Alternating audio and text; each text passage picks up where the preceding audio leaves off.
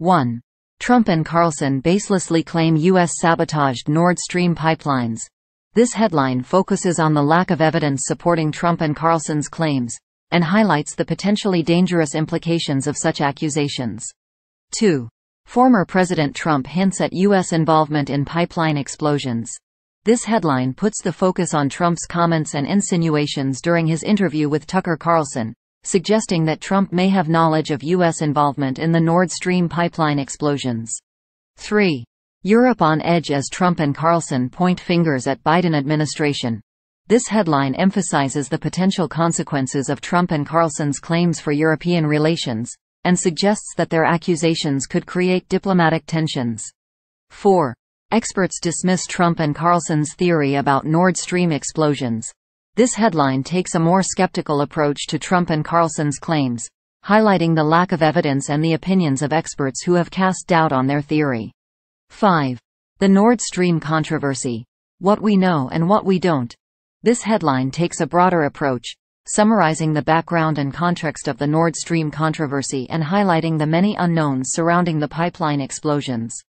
Former President Donald Trump and Fox News host Tucker Carlson have been pushing a baseless conspiracy theory that the Biden administration was responsible for the explosions that damaged the Nord Stream natural gas pipelines. In an interview with Carlson, Trump made his strongest insinuation to date that the United States sabotaged the pipelines, despite providing no evidence to support his claim. Carlson has been advocating for this idea using less than convincing evidence, and has falsely claimed that the Biden administration promised to blow up the pipeline. This conspiracy theory is extremely provocative, and would have significant implications for our relationships with European allies. Destroying the pipelines would be an act of aggression and would be met with the strongest possible response from the European Union. Despite Carlson's claim that Trump was telegraphing that he knew the truth, Trump himself suggested recently that he doesn't. It's not at all clear how Trump would have obtained such information, and even if he did, it would be highly sensitive information that should not be broadcasted on national TV. Subscribe for more content like this. This conspiracy theory is part of Trump's long-standing effort to suggest the Biden administration is at fault for the war in Ukraine. It's a dangerous and irresponsible game that risks undermining our relationships with allies and stoking tensions with Russia. It's time for Trump and Carlson to stop pushing this baseless theory and start focusing on real issues that affect the American people. The issue here is not just that Trump and Carlson are promoting a baseless theory with potentially serious consequences for international relations, but also the broader trend of spreading misinformation and disinformation in media and politics. We've seen this phenomenon play out in various forms, from the spread of COVID-19 misinformation to false claims of election fraud. The consequences can be far-reaching, from fueling distrust in institutions to stoking violence and unrest.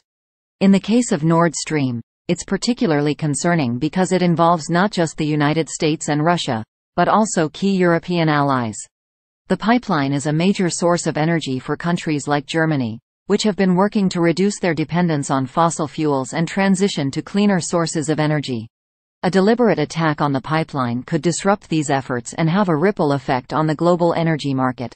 It's important to remember that journalism and media have a responsibility to report accurate information and hold those in power accountable. While it's important to explore all possible angles and theories, it's equally important to base these reports on facts and evidence, not speculation and conspiracy.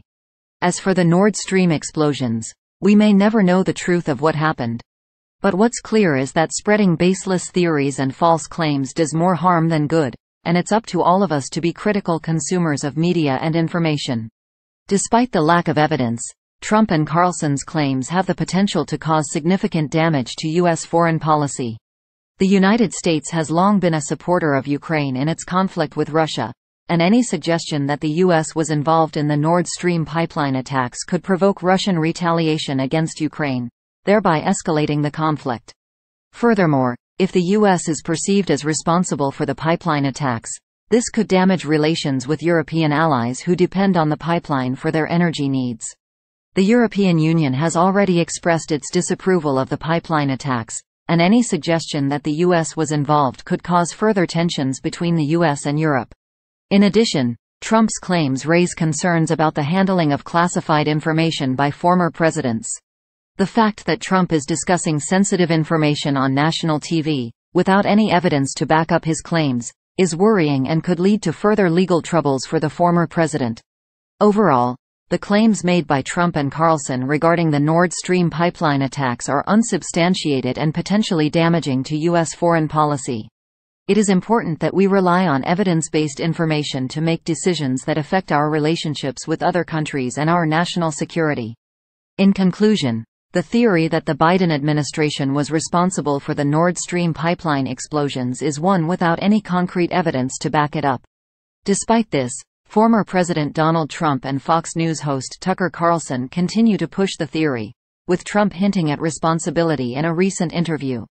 The lack of evidence and the potential ramifications of such an act make it all the more concerning that these claims are being spread without any basis in reality. It's crucial that we rely on facts and evidence to make informed decisions, rather than relying on baseless conspiracy theories that could have serious consequences. Thanks for watching. Subscribe our channel for authenticity.